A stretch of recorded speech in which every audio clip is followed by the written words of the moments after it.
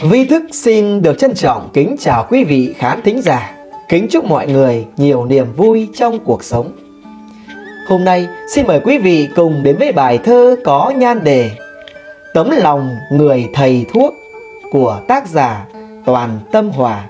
Nếu hay, mọi người hãy like, chia sẻ video và đăng ký kênh ủng hộ Vi Thức. Sau đây, xin mời quý vị cùng theo dõi. Bàn tay em xoa dịu những vết đau. Nụ cười em hiền hòa như từ mẫu. Bao căn bệnh em đã từng chiến đấu. Với tấm lòng đầy nhân hậu, lung linh. Khoác lên mình bầu áo trắng nguyên trinh. Ươm cuộc đời cho niềm tin hạnh phúc những tiếng khóc xé lòng trong ca trực cũng làm em thao thức những đêm dài. Biết bao lần trách nhiệm nặng hai vai, khi cái chết hiện liền ngay trước mắt. Sống và chết chỉ là trong tích tắc. Đấu tử thần là khoảnh khắc khó khăn.